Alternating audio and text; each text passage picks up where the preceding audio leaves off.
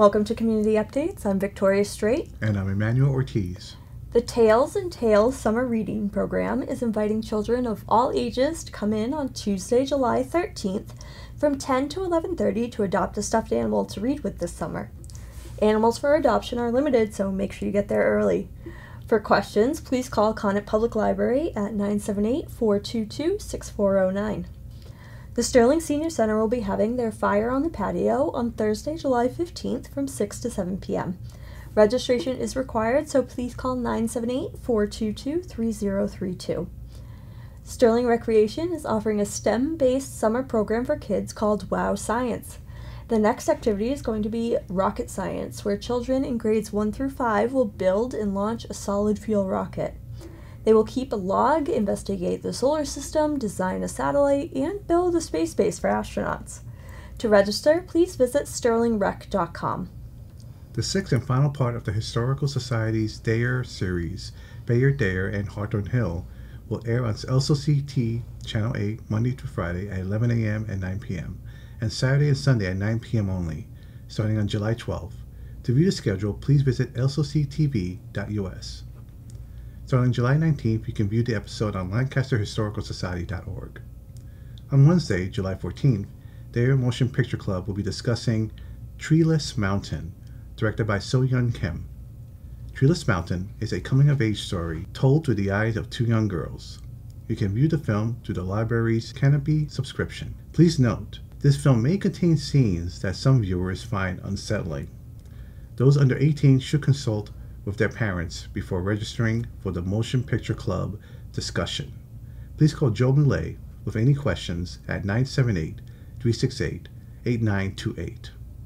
On Thursday, July 15th, John Rogers will be presenting Bluebirds and more. This slide presentation includes the life history of the eastern bluebird, other birds that nest in bluebird boxes, and nest box management. This program is perfect for those who love bluebirds, but it will also interest any nature lover. This program is funded by the Rosemary Davis Memorial Fund grant from the Greater Worcester Community Foundation. To register for this event, please visit thayermemoriallibrary.org. On uh, my bookshelf this week is probably one of my favorite detective stories ever written Death on the Nile by Agatha Christie. It stars one of her most well known characters, Belgian detective Hercule Poirot. There's a movie to be released next year starring Kenneth Branagh but I recommend you read the book first. The story is about a recently married wealthy socialite who was being stalked by her husband's ex. She's found dead, shot to death with her pearls missing on a ship voyage on the Nile, and there are many suspects aboard. Agatha Christie does a great job of writing tension and suspense while introducing you to some very eccentric characters.